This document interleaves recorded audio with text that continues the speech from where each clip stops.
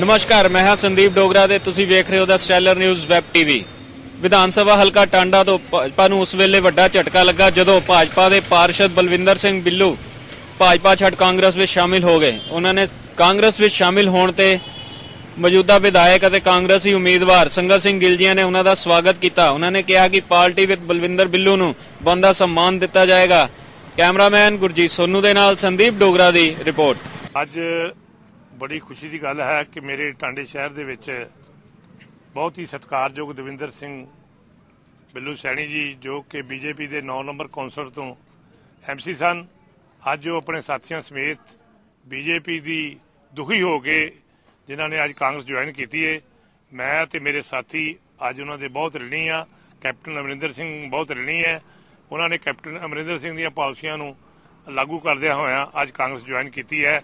ਸਾਰੇ ਸ਼ਹਿਰ ਦੇ ਵਿੱਚ ਬਿੱਲੂ ਸੈਣੀ ਦੇ ਆਉਣ ਦੇ ਨਾਲ ਅਸੀਂ ਉਹਨਾਂ ਦਾ ਬਹੁਤ ਬਹੁਤ ਸਵਾਗਤ ਕਰਦੇ ਹਾਂ, ਉਹਨਾਂ ਦੇ ਸਾਥੀਆਂ ਦਾ ਸਵਾਗਤ ਕਰਦੇ ਹਾਂ।